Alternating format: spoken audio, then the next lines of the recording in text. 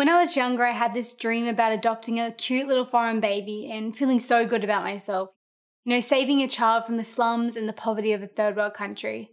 But when I was honest with myself, this way of thinking was pretty selfish, when it's all about the outlook and the appearance. The picture of a white, privileged, middle class family with their token foreign child, where people see you and your family and they straight away know the good deed you've done. There's definitely nothing wrong with adopting from overseas. In fact, if you have the right heart behind it, can be a really special thing. But if we genuinely have compassion for those children who need homes, why not consider foster care in our own neighbourhood? The idea of taking a drug and alcohol affected baby or an abused child that was dropped off at the police station down the road from the very place you live, that's definitely a less attractive move and it's much less appealing. You know, that idea that someone could look at you and your family and not even notice that this child wasn't yours, that they're adopted or a foster child, that they look the same as you, that's a really scary place to be. But when I watched my parents and I watched other people around me who were fostering, I began to see the heart behind it, and that's when my desire for these children really grew. When we became foster carers, me and my husband had actually only been married for just a year. We had no kids of our own and we had one spare bedroom.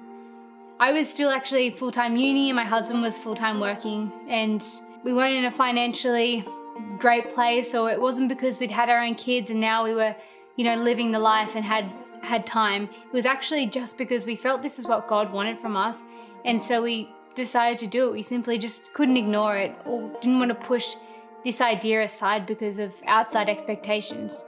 So we told the foster care agency that we were happy just to have one single child just once a month, just to start off with, and that it could be a baby because that was the age that I was most familiar with, and I thought, you know, that would be a good place to start. Um, so the same night that we were actually approved, we got a call.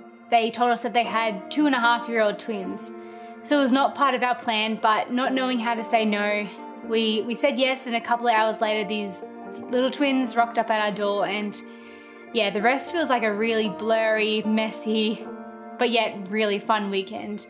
Me and my husband would get to bed each night and we would just look at each other and laugh because we just knew we had no idea what we were doing, but we knew that something about what we were doing felt so right, and we knew it was just the start of our fostering journey. Fast forward a couple of years, we had a lot more kids and babies come to our door. A lot of these kids would come with just such a fear and sadness in their eyes, and you know, they didn't know what type of people we were, if we were going to be kind to them, if we were going to accept them. To have the opportunity to love these kids, to give them nourishing foods, to read them books, to teach them about God and to, you know, cuddle them and even to wake up for these midnight feeds for a baby was actually such a deeply honoring thing. And, you know, to see the transformation of some of these children that they come with this sadness and they come with this blank face, but they then learn to laugh and to play as a child should again. And yeah, it's such an amazing thing to see, and I think it's something that we can never get over. So one day I got a call from the foster care agency about picking up a newborn baby. And this was the first time I'd ever had a newborn baby, and I was honestly so nervous, but I was also super excited as well. And so I remember driving to the hospital, and I just I remember the nerves I had. I, just couldn't get out of my mind like the life that this little girl was being born into, you know, like she didn't know that her mum wasn't going to be there to take her home, and she didn't even know who I was or if I was the one who carried her for nine months. You know, like a lot of mums, they have nine months to prepare that these babies come into the world already loved. Their mums have set up these beautiful nurseries and, you know, already brought things for them. Their families are anticipating their arrival and they can't wait to meet them.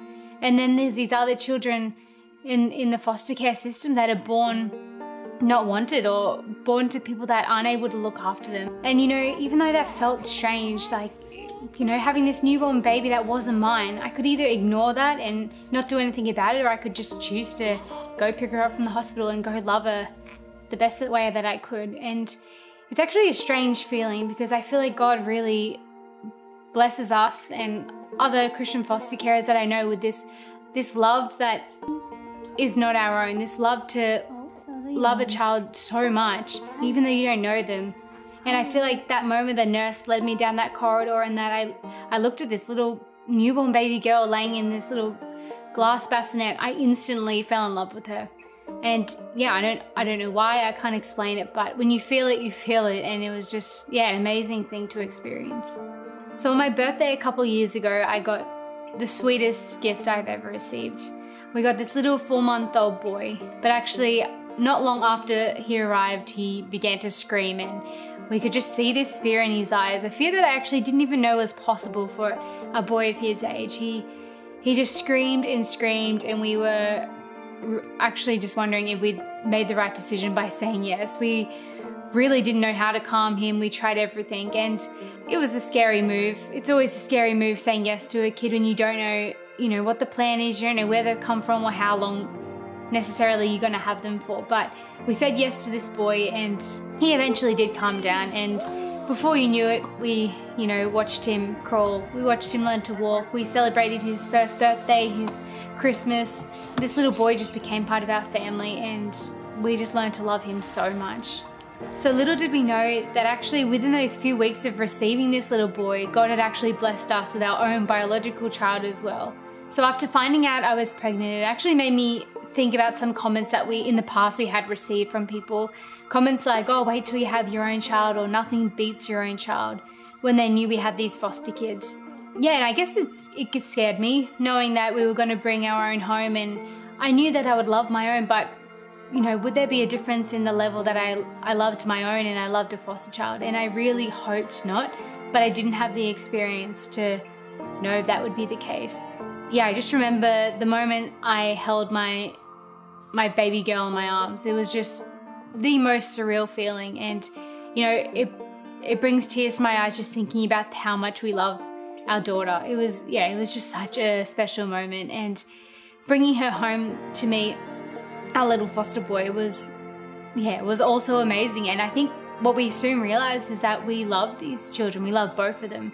It was just such an, a blessing, I guess, to see that we did have the capacity to love these kids equally, that we didn't see one as our own and one as just a kid, another kid. You know, we actually had this love that went so deep for both of them. And yeah, we are really, truly grateful for that. So I'm not saying that every single child that walks straight through your door is, you know, you have the capacity to love with everything you are and just as your own child. This little boy was was with us from such a young age and, you know, as we watched him develop, as we watched him grow, and as we became his parents, it was inevitable that we would love him as our own, that he became ours, and we we really do hope and pray that he can remain ours and he can we can be his home forever.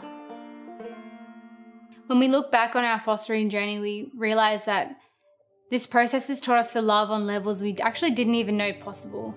You know, these kids come from their different situations, from their most often really scary and sad situations, and they bring their baggage, they bring their mess, they bring their sometimes behavioral issues or uh, different problems, but we can't help but love them. And I guess when I think about this, it's almost a small reflection of the love that God has for us. We come broken and sinful and with life's burdens, and He offers us His grace, He forgives us, and all we have to do is rock up to His door, and He opens it up and He embraces us just as we are. In one of Jesus' parables, he tells us a story of a man who was preparing a great banquet and invited many guests. He sent his servant to go tell those who had been invited to come now, for everything was ready. But they all began to make excuses about other things they had to do and they didn't come. So the servant came back to the master and told him the news, and he told the servant to go back out to the streets and the alleys of the towns and bring in the poor, the crippled, the blind, and the lame. And these were the people that came. It's a simple story, but yet very powerful. It tells that the heart of God is not just for those that apparently have it all together. It is open to whoever wants to come. No matter the past, no matter the circumstances. God doesn't see people the way we do. We judge based on the outside. We treat people differently according to what they look like or what they can offer us. But God is not like that. He invites us all to come and be part of His table and to eat with Him.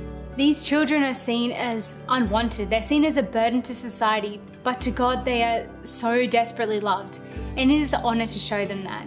You know, if this is all I do in this life, man, it's so worth it. It is so much more valuable than, you know, the job I could have, the career I could have, you know, the money I could make, the house I could live in. Yes, those things are part of life, but they don't even compare to what it is to be part of God's table and to help others find their seat. And this is my plea to you to consider God's invitation. to take a seat at his table and even perhaps open your doors to those most vulnerable in our society.